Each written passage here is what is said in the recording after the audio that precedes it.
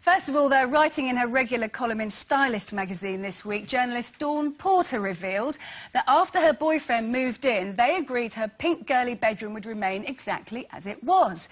However, it wasn't long until a big, grey, golf club arrived next to the bed. She had to remind him that they'd agreed his sports equipment would remain in the garage. So in our homes, are we happy to have a bit of blokiness around? What do you think, Sam? Well, I wouldn't know, Fiona. Um, it's been a You've long got your little time. boy, Jake. well, yeah, but he's not big and blokey, is he Well, yet? he's be. just mess and footballs all over the place. But no, uh, my house, I have to say, I've been five years now uh, not living with a man. And um, no, I don't mean that. And I have a pink fridge. I know, as ridiculous as it sounds, and I've big- one of those big things. Um, and my house, I suppose, has got very girly. Although I'm not that girly. I think I've got a sequin cushion as well on my, on my bed upstairs. But so not really. I haven't got the. Um, I haven't really got a man to come and live with me and make a mess. Although having said that, computer-wise and things like that, I wouldn't mind a man coming over and fiddling with me Wi-Fi. Oh, You don't need anything more girly if you've got a pink fridge. no, not really. I know, turning all Jordan. Who has a pink? There is. it's so Katie Price. but when you have it? when you have gentlemen callers, Gentlemen callers. yes, you know yeah. what I mean. Yes. Nudge, nudge, wink, wink. I mean, do they ever leave anything behind by the- the accident? milkman. You know. Um, Do you mean random? no, but I know. I tell you what. Yeah. Do you know what? I said, do you mean random punters? I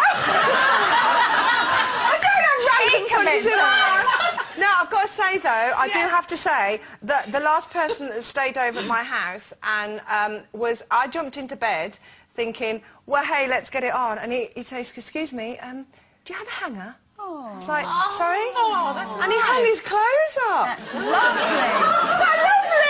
That's lovely. No, but what you should have said, Zoe, what you should have said is, while you're there, floor. would you hang mine up as well? And do some, and do some ironing while you're Yeah. at it, babes. Yeah, yeah. Carol, what you, single girl for so long, you Yeah. finally settled down. Yep. And is it nice having a bit of blokiness around on a permanent basis? What? Do you know what? It, it kind of rescued me in a way in my, in my flat because I've had the same furniture since about 1980. Honestly, and my sofa, I've, I've said it on the show before, it was so old and it was so rotten. I had to, I had to literally throw it away because it went a bit mouldy because I'd spilt lots of things oh. and it wasn't very nice. But anyway, so Mark turned up just in time. But I have to say, my flat is like a bloke's flat now. If you walk in there, because his sofa was like a big black leather sofa. Why do blokes always have big black leather sofas? Well, you can I mean, it was huge. And he's got this massive telly. Blokes always have big tellies, A don't 46 they? incher, is I think it? if they can't drive, they have a big telly. Yeah, but you know why? Yeah, because they have big, big everything, don't Yeah, they? And so the, the bigger they are, the more they can imagine. Big telly, there's like black furniture everywhere, black sofa. It does look like a bloke's flat, but I, I don't mind because I'm, I, I can't be bothered with all that stuff. So as long as I've got something to sit on, I don't really care what it is. Yeah. You see, Ma, I've got three blokes in my house. My husband, who when I left today had his hose out. I've sometimes... Did he? "Why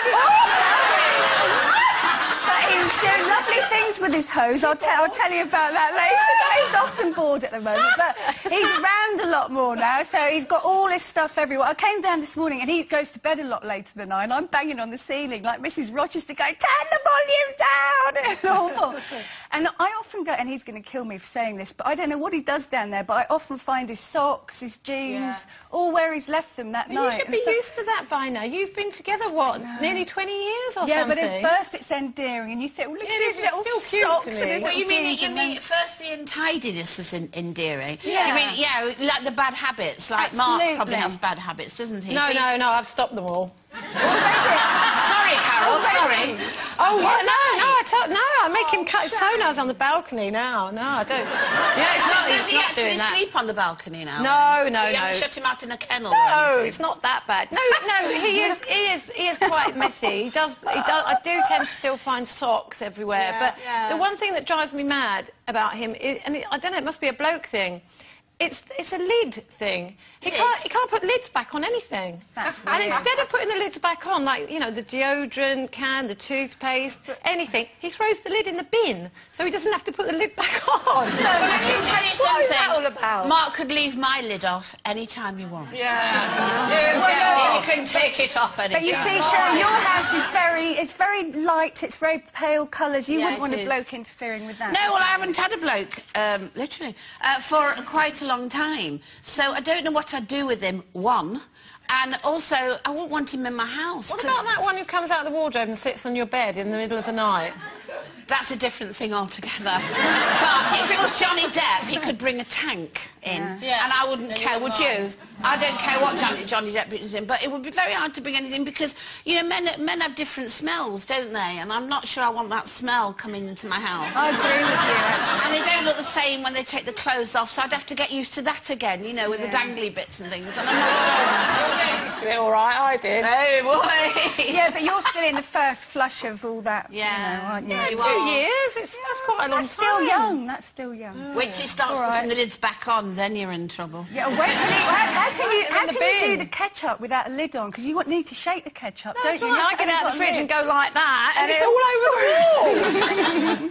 Good job your flat's not nicely decorated then, isn't well, it? it's not. No, it's not. I don't care. All right, if you're keen to add your thoughts or stories to our topics today, get online where you can explore our new look website and add your comments to the daily banter.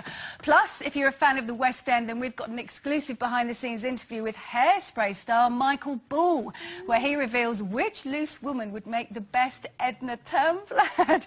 All you have to do is go to itv.com forward slash loose women. And we are going to take